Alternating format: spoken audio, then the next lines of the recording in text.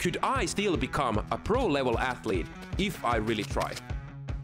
Four years ago, I started triathlon, which is the combination sport of swimming, cycling, and running.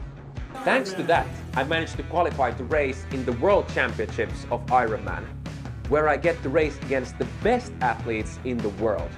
Follow me if you want to learn together how to be a pro athlete, what could be applied into our everyday lives, and how far can I, an ordinary person, make it. See you soon!